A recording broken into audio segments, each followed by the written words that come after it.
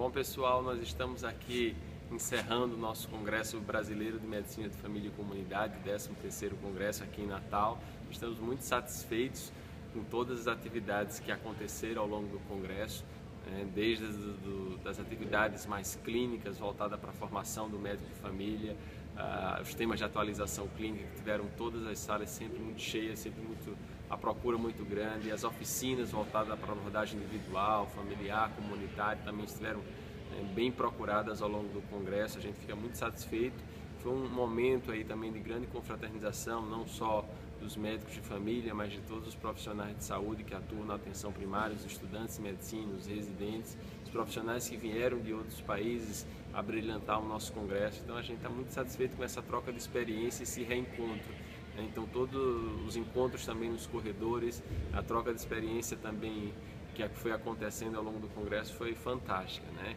É, também foi um congresso muito importante para a gente discutir as políticas públicas do Brasil, né? nesse momento que a gente tem, tem né, avaliado a necessidade de mais médicos, mais médicos de família para estruturar o nosso sistema. Então, tivemos mesas redondas importantíssimas para discutir a mudança do currículo na formação do estudante de medicina voltada para a atenção primária, a, a, mesas para discutir como vai se dar o processo de universalização das residências de medicina de família no Brasil, né? e também para discutir é, como se vai se dar a carreira, com que modelo, com que qualidade de atenção primária. Então a gente sai desse congresso é, é, com a mais amadurecido é, do ponto de vista de que políticas públicas a gente quer para o nosso país. Né? E foi muito importante também a colaboração de todos os colegas internacionais da região ibero-americana, assim como do, do, resto do mundo. Tivemos a oportunidade de ter o nosso presidente da Organização Mundial dos Médicos de Família, o Dr. Michael Kidd, também trouxe sua referência sobre a medicina de família do mundo inteiro.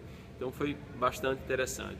Gostaria também de ressaltar o papel dos estudantes de medicina, especialmente da LASF, das ligas, da, da, Associação Nacional das Ligas Acadêmicas de Medicina de Família, onde tem uma programação própria, com oficina, com produto, onde tem uma carta de intenções, né, buscando estimular a formação do estudante de medicina é, é, é, nas competências da medicina de família, também buscando estimular a busca pela especialidade. Então a gente também faz aqui um, um, um agradecimento à LASF de como ela se envolveu nesse nosso congresso, como participou ativamente os estudantes de medicina. A gente também fica muito feliz com a participação dos médicos residentes de medicina de família, com a programação também própria, que começou já lá desde quarta-feira, com fórum de residência, mas que atravessou ao longo do congresso com a participação ativa dos médicos jovens também do grupo Ainacai Brasil. Então, muito interessante. Né? A gente destaca alguns temas do congresso que teve uma grande repercussão, onde as pessoas têm discutido nos bastidores o quanto o nosso Congresso tem qualificado cientificamente, buscando aprofundar a, a, as, as, especificidades da medicina de família e como o Congresso foi forte nesse sentido, um destaque especial muito grande a gente dá para as atividades e as mesas relacionadas com a prevenção quaternária, como isso ficou evidente também é, em todas as participações. Né? Os grupos de trabalho também da sociedade tiveram uma participação muito forte durante o Congresso, o grupo de trabalho da medicina rural, o grupo de trabalho dos cuidados paliativos, o grupo de trabalho de dor, todas buscaram trazer atividades para estar trabalhando a formação, a discussão dos nossos médicos de família, dos profissionais de atenção primária do nosso país.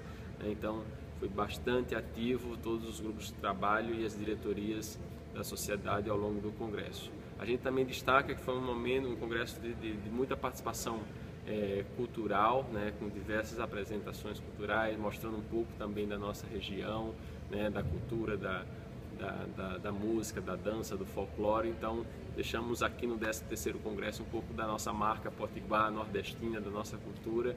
Espero que todos os colegas tenham é, é, se divertido bastante aqui ao nosso sabor potiguar. Outra coisa que, que, é importante a gente deixar como marca do nosso congresso, nós tivemos um recorde de apresentação de trabalhos científicos, né? Temos mais de 1.800 trabalhos apresentados no formato de post e apresentação oral, mostrando a qualidade da nossa atenção primária brasileira que tem crescido é, bastante a cada congresso, né? Então, estamos muito, muito, muito felizes com essa possibilidade de ter neste congresso né, aberto as portas para essa produção científica aí. A gente fica muito feliz com isso. Esperamos que os próximos congressos continue crescendo. Né?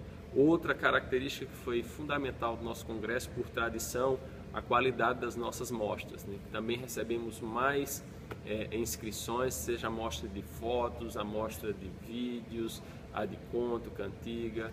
Então, mais uma vez, foi muito rica a participação é, dos profissionais de atenção primária, trazendo a sua produção cultural, trazendo as suas atividades, mostrando né, esse outro lado de nós, médicos de família, dos, dos, estudantes e dos profissionais de atenção primária, nessa sua produção cultural, que também é uma marca do nosso congresso e a gente vai manter por tradição e que esperamos que continue crescendo. É, por fim, eu queria deixar né, dois convites, que a gente está encerrando o nosso congresso, mas já estamos pensando nos próximos. Né? Então, 2016 nós vamos, vamos ter o nosso congresso, congresso Mundial de Medicina de Família, aqui no Brasil. Nós estamos sediando esse congresso, vai ser no Rio de Janeiro, em novembro de 2016. Então já estão todos convidados a participarem e, é, e vai ser assim, vamos sair de um para o outro. E já em 2017 nós já temos a nova sede do próximo Congresso Brasileiro. Então se planejem que vai ser em Curitiba, 2017, o nosso brasileiro. Então botem nas agendas e seguimos adiante nos vemos muito em breve. Um grande abraço para todos vocês e obrigado pela participação no nosso evento.